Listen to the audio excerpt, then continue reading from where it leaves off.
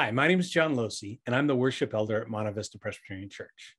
We want to stay connected with everybody who comes to our services. And BC, before Corona, we used these friendship pads. And the friendship pads were just you use a little pencil and you would fill out a form, and that's how we would stay connected. But when we started doing um, virtual services, well, then everybody, we couldn't pass around the pads, and that wasn't safe around the Corona stuff, anyhow. But we have been thinking this through and we want to still stay connected. So, our solution, now that we're doing both people in person and virtual, we created what we call the electronic friendship pad. And it looks kind of like this this electronic friendship pad. We're excited about this because it's, it's, it's yet another way that we stay, can stay connected and serve you uh, from, you know, as, as, a, as a church at Monte Vista. So what you do, so if you're virtual, and there's different ways that we're, we're solving this.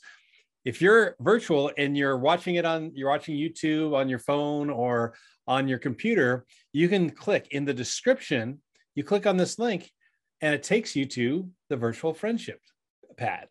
And now you just kind of fill out some simple things. There's only really one one thing that's required, and that's that that you uh, you share your your name and the all the people in the family who are attending. Otherwise, it's all optional. We'd like to know what date, the date of the service you're watching, which means that even if you watch it on Wednesday, give us the Sunday's date. Which service is it first, second, or a special service? Like July 4th, we had a special service.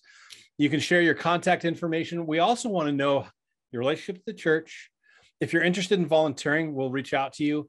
Also, and this is the most important part, if we can pray for you. And we give you some options on uh, on submitting uh, prayer requests. So that's that's how we're doing it for the virtual people. But what about for the people who show up? Bulletins, you'll notice that we've added what's called a QR code. And all you need to do, whether you're using Apple or an Android smartphone, open up your camera, you point to that, uh, that QR code, and it'll ask you whether you want to, if you want to go to that site, you click the button and look at that. On my phone is the electronic friendship pad. So you can then fill it out there. If you don't want to deal with electronics at all, you're one of those old school non digital natives. Well, in the bulletin also, we have the analog version. So you can fill out your friendship pad with your pen or pencil and just drop it into the offering box. And this is how we're going to stay connected uh, at Monte Vista Presbyterian.